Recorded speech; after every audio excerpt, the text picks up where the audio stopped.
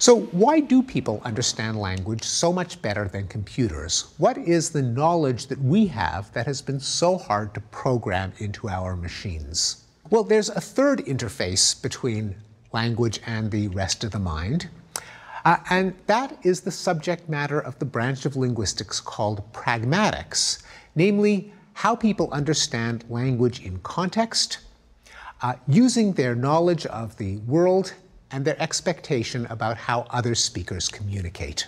The most important principle of pragmatics is called the cooperative principle, namely, assume that your conversational partner is working with you to try to get a meaning across truthfully and clearly. Our knowledge of pragmatics, like our knowledge of syntax and phonology and so on, is deployed effortlessly but involves many intricate computations.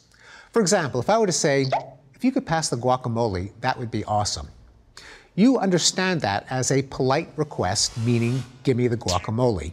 You don't interpret it literally as a rumination about a hypothetical state of affairs. You just assume that the person wanted something and was using that string of words to convey the request politely. Often, comedies will use the absence of pragmatics in robots as a source of humor.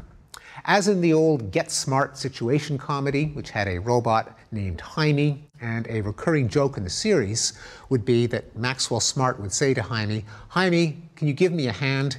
And Hymie will then go remove his hand and pass it over to Maxwell Smart, not understanding that give me a hand in context means help me rather than literally transfer the hand over to me.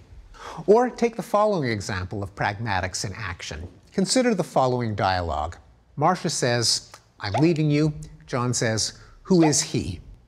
Now, understanding language requires finding the antecedents to pronouns, in this case, who the he refers to. And any competent English speaker knows exactly who the he is, presumably John's romantic rival, even though it was never stated explicitly in any part of the dialogue.